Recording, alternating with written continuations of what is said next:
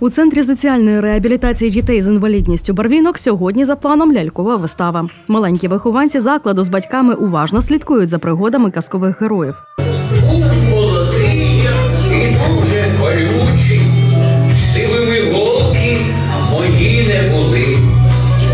Дуже приємно спостерігати, як в приміщенні, де декілька років тому були сірі та пусті стіни, сьогодні функціонує без перебільшення найкращий реабілітаційний центр для дітей та молоді з інвалідністю у всій смілі. В цьому році за підтримки міської ради та за кошти місцевого бюджету ми зробили поточний ремонт частини покрівлі нашого закладу, де були проблемні місця. Зробили поточний ремонт санузла з урахуванням маломобільних груп населення в реєстратурі.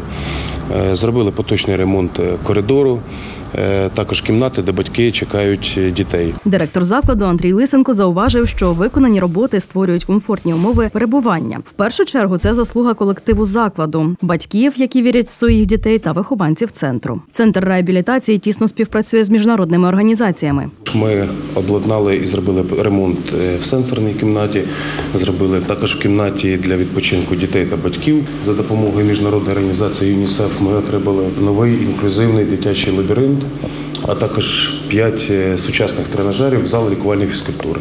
Бальнеологічне відділення в народі, відоме як гідромасажні ванни, є важливою складовою фізичної реабілітації, зазначає директор закладу. В нашому закладі працює фізіотерапевтичне відділення, де, зокрема, надаються послуги з масажу та гідромасажу.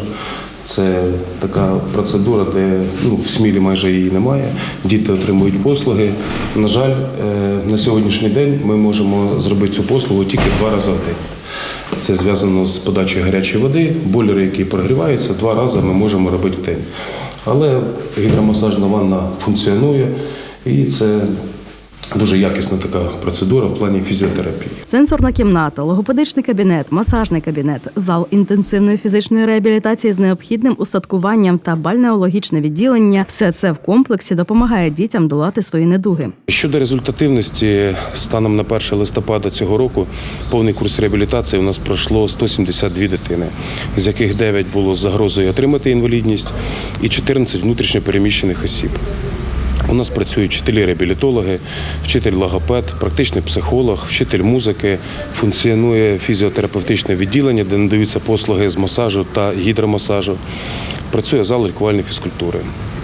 Всі послуги у нас є комплексними і абсолютно безкоштовними. Важливим напрямком роботи нашого закладу є підтримка програми ментального здоров'я. Тож хочу звернутися до всіх батьків нашого міста. Якщо ви побачили е, якісь порушення розвитку вашої дитини, психічні, фізичні, ми раді будемо вам допомогти, надавши е, консультацію та в подальшому е, допомогти реабілітаційними послугами як фізичного, так і психологічного напрямку.